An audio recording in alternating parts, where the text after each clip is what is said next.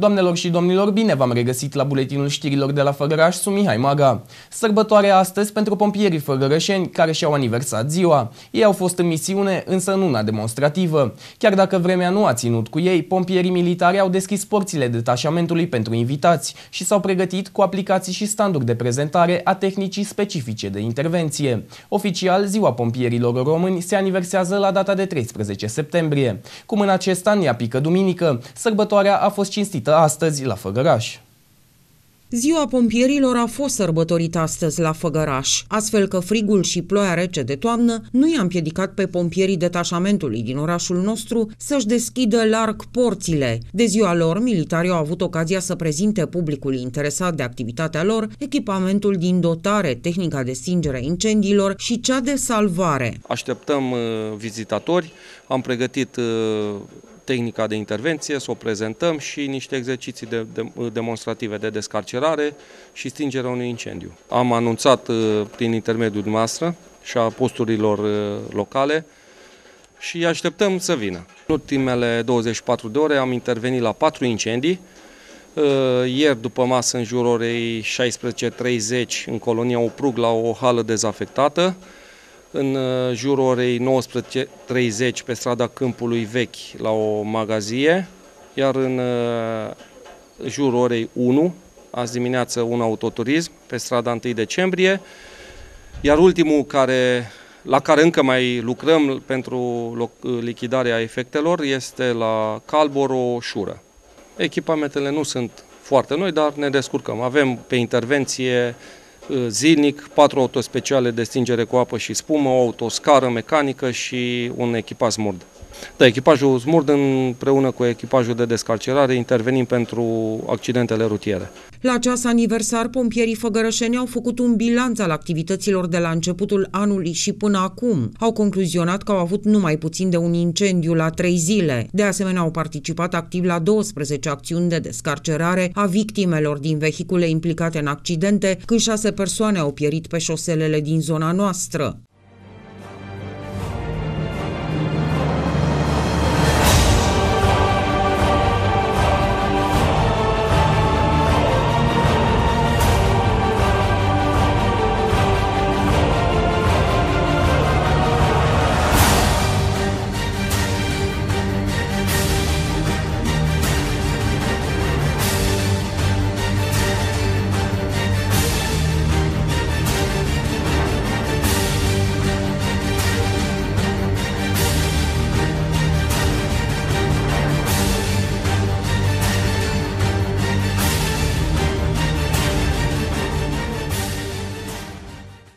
Pompierii au fost solicitați și la alte tipuri de acțiuni de salvare, când persoanele au rămas blocate în casă sau în lift, ori s-au aflat în alte situații care le-au pus viața în pericol. De asemenea, pe tot parcursul verii s-au implicat în găsirea unor persoane care au dispărut în apele râului Olt. Cât de grea este misiunea de căutare a celor care s-au înnecat, ne explică majorul Dorin Moldovan, comandantul pompierilor din Făgăraș.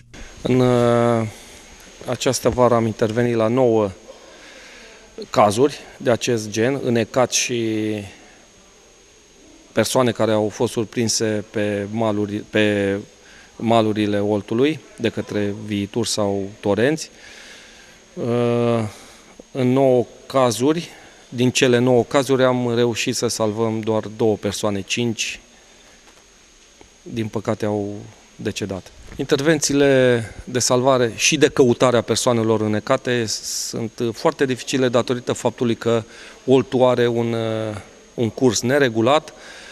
Uh, fundul acestuia este mâlos, de multe ori plin cu, cu răgălii, bolovani, cioate, iar noi, între cele două bărși pe care le am în spate, facem un fel de, de sistem cu care dragăm fundul râului cu ancore, cu greutăți, să prindem victima sau să o, să o ridicăm la suprafață. Această vară am fost sprijiniți de scafandrii de la ISU Covazna, care cu eforturi deosebite din partea lor, în prima zi de căutări am reușit să găsim o victimă.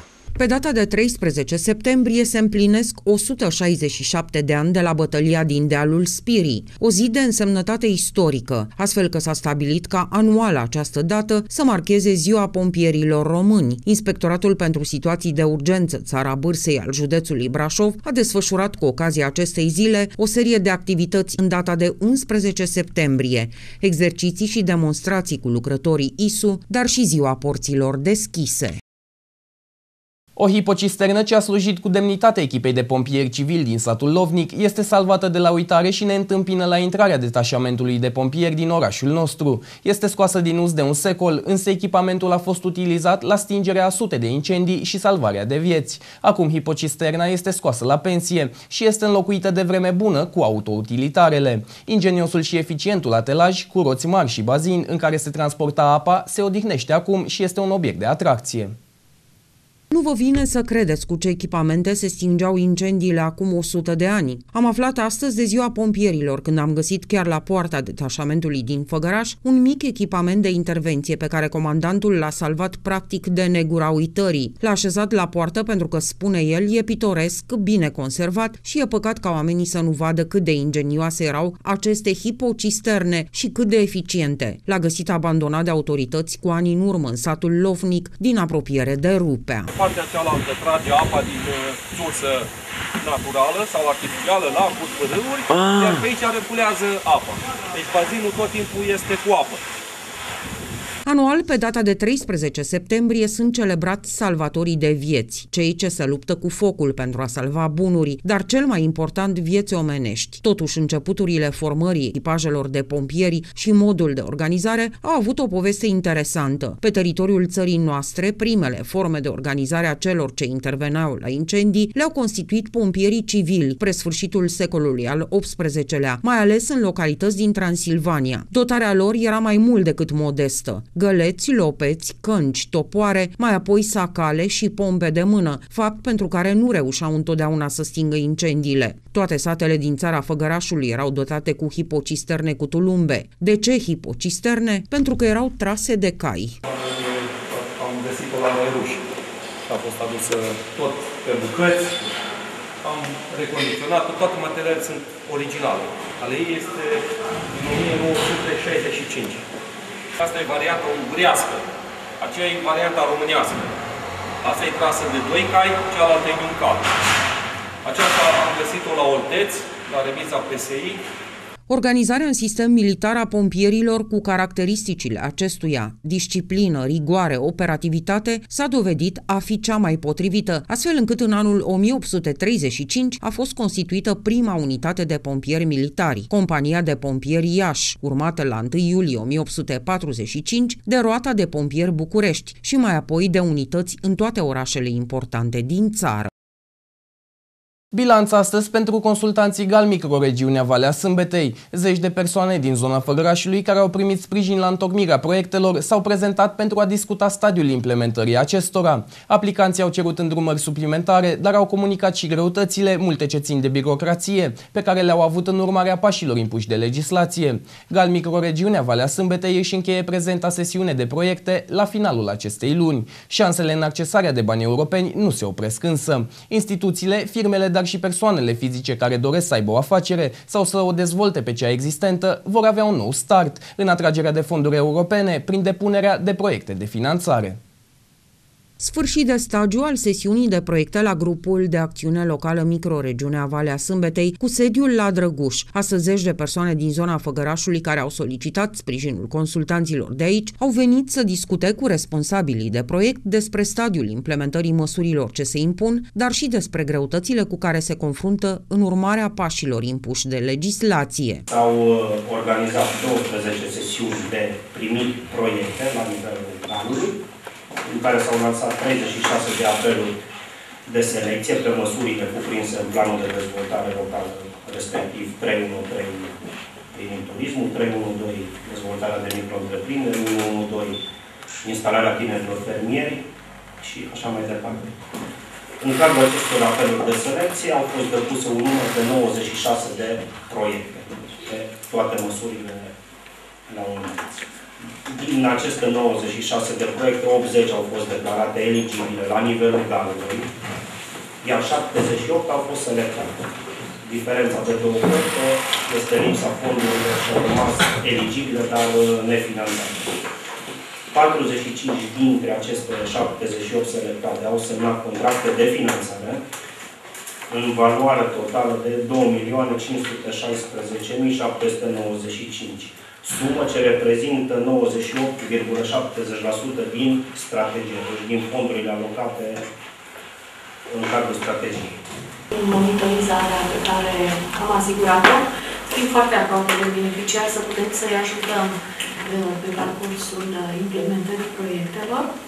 1-1-2 a mers mult mai ușor, cum știți. Da. De probleme mari pe care noi le-am identificat au fost în procedura de achiziție. Din păcate, cele două dezvoltare turistică uh, au eșuat și păcat că potențialul turistic al uh, zonei este mare și după ce s-a făcut un bilanț al implementării de proiecte în zona Făgărașului, prezent la discuții reprezentantul Oficiului Județean pentru Finanțarea Investițiilor Rurale, Marius Sărica, i-a îndemnat pe aplicanți să țină în permanență legătura cu consultanții și cu instituția brașoveană, asta pentru a putea depăși barierele inerente de ordin birocratic, dar și cerințele care se impun. Puteți să vă interesați, intrați pe internet, aveți adresa de net a noastră, afir.ro, unde găsiți măsurile care sunt deschise, documentația pentru ce, pentru ce se, uh, se acordă finanțare.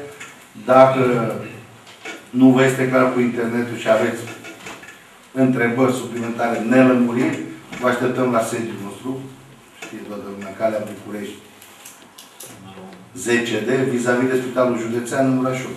Cei care s-au confruntat cu obstacole în implementarea proiectelor au cerut lămuriri. S-au discutat de asemenea oportunitățile accesării de fonduri pe proiecte cu adevărat viabile.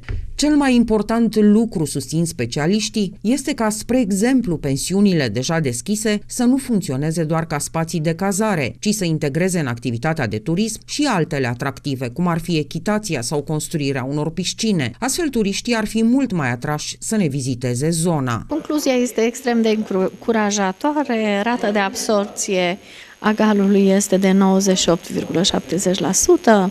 Uh, beneficiarii sunt mulțumiți uh, în mare parte și au depus uh, cererile de plată.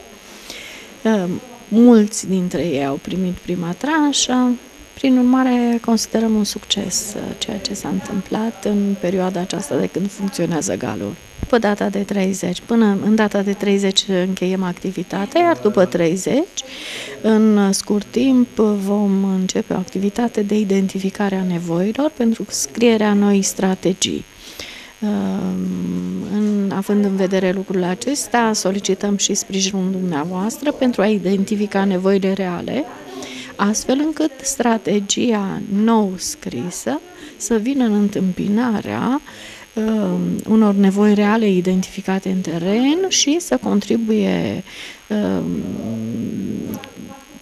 coerent și masiv la dezvoltarea economică a zonei Galului. Grupul de acțiune locală Microregiunea Valea Sâmbetei își încheie această sesiune la data de 30 septembrie. Urmează apoi o altă șansă pentru cetățenii zonei, dar și pentru instituții și firme să solicite consultanță pentru atragerea de fonduri prin intermediul proiectelor de finanțare. Noua strategie a grupului de acțiune locală va fi promovată în această toamnă, iar programul acesteia va fi făcut public. Conducerea grupului susține că se va ține cont de specificul zonei noastre, dar și de nevoile aplicanților. Aceasta a fost ediția zilei cu cele mai importante informații locale. Pentru a ne viziona și pe internet, aveți la dispoziție site-ul cu adresa impactfăgăraș.ro și pagina de Facebook Impact Făgăraș. Doamnelor și domnilor, vă mulțumesc pentru atenție. Rămâneți pe Nova TV.